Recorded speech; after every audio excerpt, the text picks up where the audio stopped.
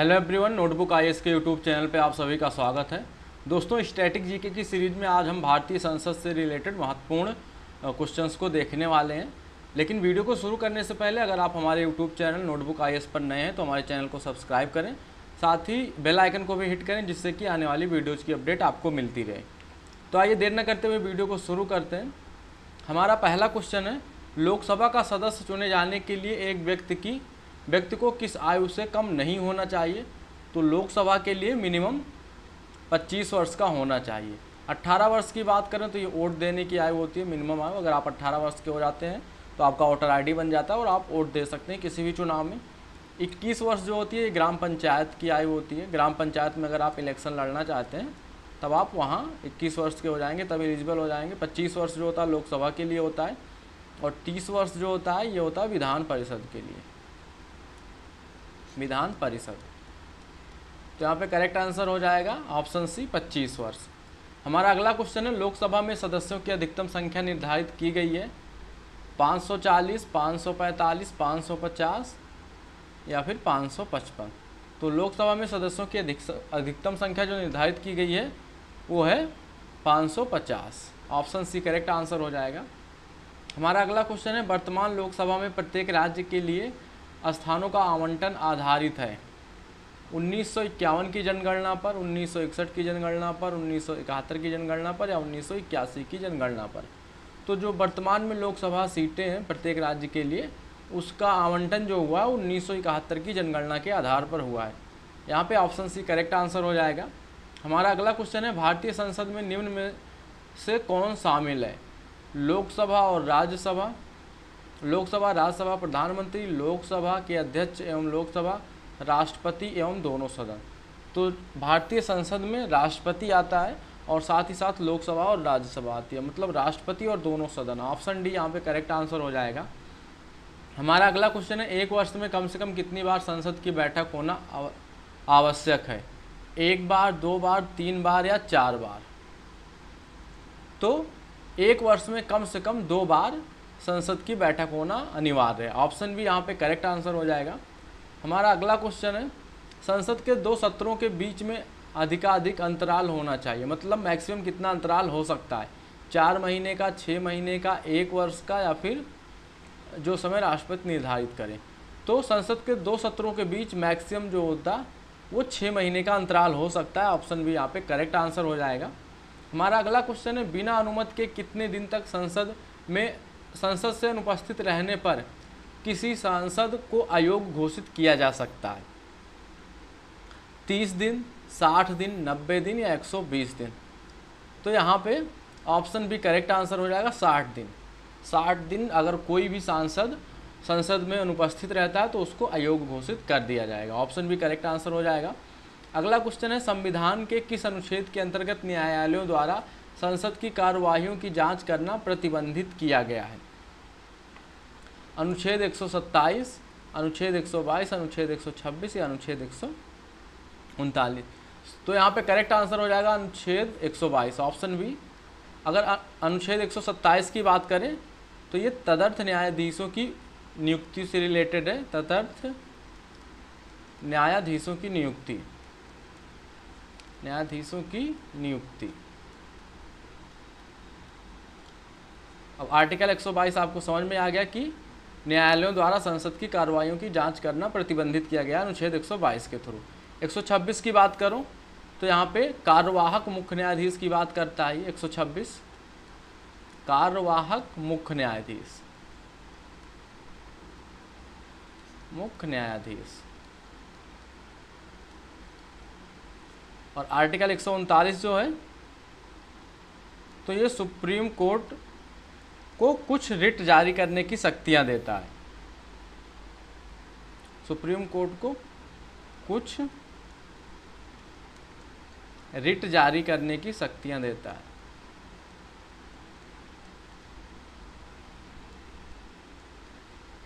शक्तियाँ देता है। और ये देता है जो हमारा आर्टिकल 32 है, आर्टिकल 32 के खंड पर मतलब उसके किसी भाग के आधार पर सुप्रीम कोर्ट को रिट जारी करने की शक्ति देता है। तो यहाँ पे ऑप्शन बी करेक्ट आंसर हो जाएगा, अनुच्छेद 122 अगला क्वेश्चन है, लोकसभा का कोरम कुल सदस्य का कितना होता है? एक बटा तीन, एक बटा पाँच, एक बटा दस या एक बटा ग्यारह? तो कोरम कुल सदस्य का एक बटा दस होता है, ऑप्शन सी यहाँ पे हमारा करेक्ट आंसर हो जाएगा। हमारा अगला क्वेश्चन है, भारत में किस राज्य से लोकसभा व राज्यसभा का प्रतिनिधित्व सर्वाधिक है? उत्तर प्रदेश, मध्य प्रदेश, महाराष्ट्र, तमिलनाडु। तो अगर हम यहाँ पे बात करें कि किस राज्य से लोकसभा व राज्यसभा का प्रतिनिधित्व सर्वाधिक है तो वो है उत्तर प्रदेश से। यहाँ पे ऑप्शन ए करेक्ट आंसर हो जाएगा। अब हम देख लेते हैं राज्यसभा और लोकसभा सीटें कितनी हैं, कौन से जगह से। तो अगर हम उत्तर प्रदेश में राज्यसभा सीटों की बात करें तो इकतीस है उत्तर प्रदेश में और लोकसभा सीटें जो हैं वो अस्सी हैं। और ये मध्य प्रदेश में राज्यसभा सीटें ग्यारह हैं, लोकसभा सीटें उनतीस हैं। महाराष्ट्र में राज्यसभा सीटें जो हैं वो उन्नीस हैं और लोकसभा सीटें अड़तालीस हैं। और तमिलनाडु की बात करें तो यहाँ पे राज्यसभा सीटें जो हैं वो अट्ठारह हैं और लोकसभा सीट जो है वो उनतालीस है। तो यहाँ पे ऑप्शन ए करेक्ट आंसर हो जाएगा उत्तर प्रदेश। हमारा अगला क्वेश्चन है, भारत में लोकसभा का अध्यक्ष मनोनीत किया जाता है, चयनित किया जाता है, निर्वाचित किया जाता है, नियुक्त किया जाता है। तो भारत में जो लोकसभा का अध्यक्ष होता है, वो चयनित किया जाता है। जितने भी सांसद होते हैं, जब एमपी का चुनाव होता है मेंबर ऑफ़ पार्लियामेंट का चुनाव होता है तो जितने भी सांसद चुने जाते हैं, उसमें जो सबसे वरिष्ठतम सांसद होता है, उसको लोकसभा का अध्यक्ष बनाया जाता है। तो उन्हीं में से चयनित किया जाता है, सांसदों में से चयनित किया जाता है। यहाँ पे ऑप्शन भी करेक्ट आंसर हो जाएगा। हमारा अगला क्वेश्चन है, संसद का लोकप्रिय सदन है। लोकसभा, राज्यसभा, उपयुक्त दोनों, इनमें से कोई नहीं। तो यहाँ पे ऑप्शन ए करेक्ट आंसर हो जाएगा, संसद का लोकप्रिय सदन लोकसभा है। और राज्यसभा को अपर सदन बोलते हैं अपर हाउस बोलते हैं। ऑप्शन ए यहाँ पे करेक्ट आंसर हो जाएगा। हमारा अगला क्वेश्चन है, संसद का स्थायी सदस्य है सदन है, लोकसभा, राज्यसभा, उपयुक्त दोनों, इनमें से कोई नहीं। तो राज्यसभा जो है, वो स्थायी सदन है और लोकसभा जो है, हर पाँच साल पर विघटित हो जाती है। इसका फिर से चुनाव होता है, लेकिन राज्यसभा कंटिन्यू चलती रहती है। ऑप्शन भी करेक्ट आंसर हो जाएगा। हमारा अगला क्वेश्चन है, निम्नलिखित में से कौन संसद का अनन्य भाग नहीं है? राष्ट्रपति, उपराष्ट्रपति, लोकसभा या राज्यसभा? तो संसद का भाग कौन नहीं है? उपराष्ट्रपति संसद का भाग नहीं है। राष्ट्रपति, लोकसभा और राज्यसभा मिलकर संसद बनती है। ऑप्शन भी करेक्ट आंसर हो जाएगा।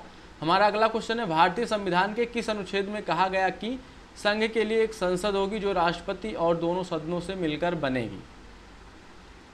यहाँ पे ऑप्शन है अनुच्छेद चौहत्तर, अनुच्छेद उन्यासी, अनुच्छेद अस्सी या अनुच्छेद पचासी। तो यहाँ पे करेक्ट आंसर हो जाएगा अनुच्छेद उन्यासी।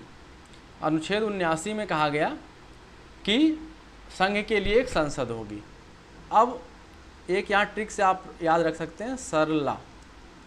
ये होता है उन्यासी, अस्सी और इक्यासी। उन्यासी में सा सा से होता है संसद रा, में अस्सी है, अस्सी, रा से होता है राज्यसभा,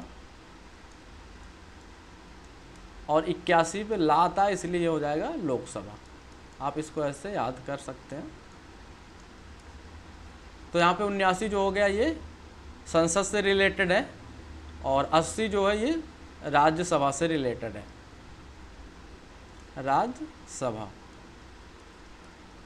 अगर हम चौहत्तर की बात करें तो ये मंत्रिपरिषद की बात करता है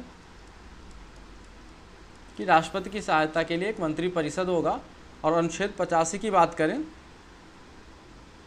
तो इसमें होता है राष्ट्रपति की वो शक्तियाँ जिससे कि वो सदन में किसी भी समय सदन में बैठक बुला सकता है या फिर सदन को भंग या निलंबित कर सकता है।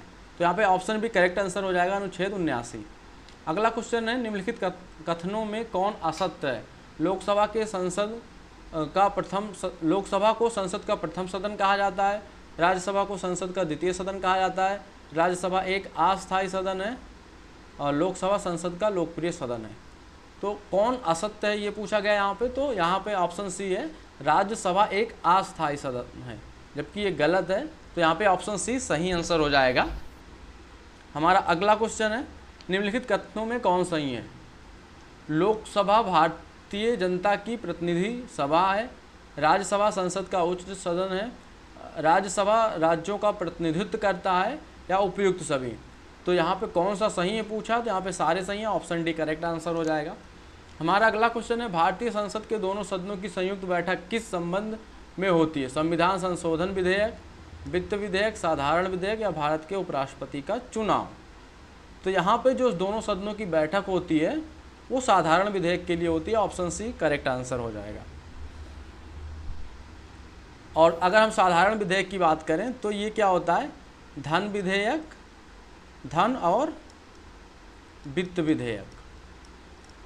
को छोड़कर जितने भी विधेयक होते हैं, वो साधारण विधेयक कहलाते हैं। धन और वित्त विधेयक को छोड़कर जितने भी विधेयक होते हैं, वो साधारण विधेयक के अंतर्गत आते हैं। ऑप्शन सी करेक्ट आंसर हो जाएगा। अगला क्वेश्चन है, साधारण विधेयक से संबंधित गतिरोध को दूर करने के लिए संसद के दोनों सदनों की बैठक कौन बुलाता है?